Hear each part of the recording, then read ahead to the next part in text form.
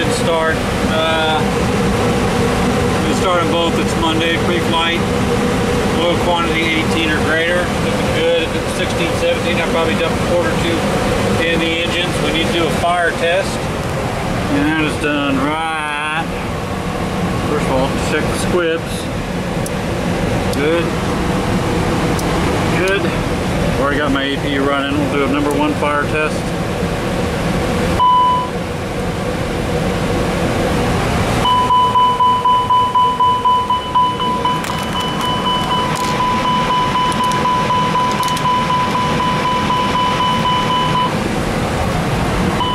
And the number two throttle test, part of the test is lifting the HP handle up to uh, check your lights and your fire handle. All right, both loops and light.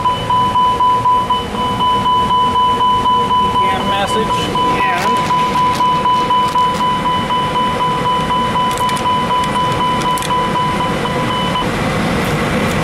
all right, two good fire tests. Oh, what's next? Uh, we need fuel for both engines. In this case, we don't have any in the inner, so we're going to be bumping out of the outer. I'm already running the APU off the outer. So go to my fuel page. And we're looking good there. Alright, I need to clear it with my buds, and then we'll go ahead and get her started.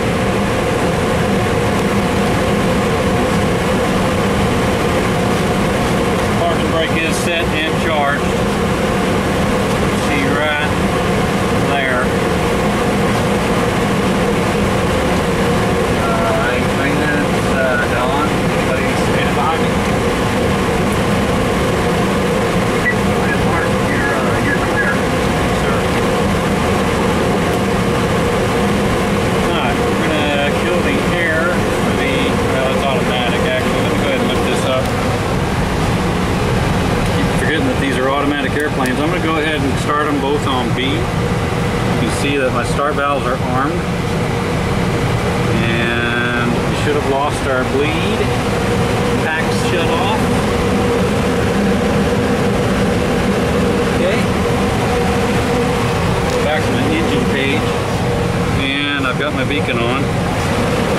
So, let's go ahead and hit the arm. We'll hit uh, start number one first.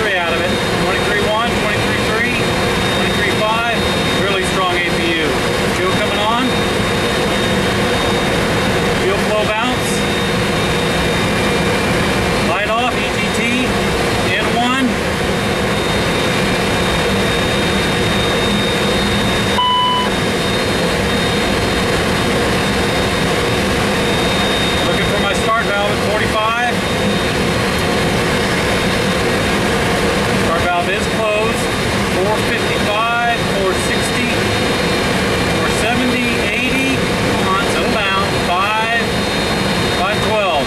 512 is my max EG